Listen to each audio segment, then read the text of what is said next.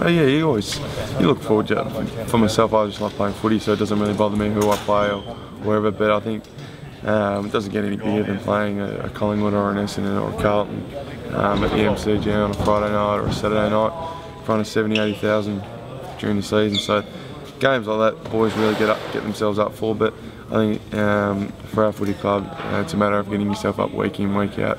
It doesn't matter who you play or, or whereabouts you're playing.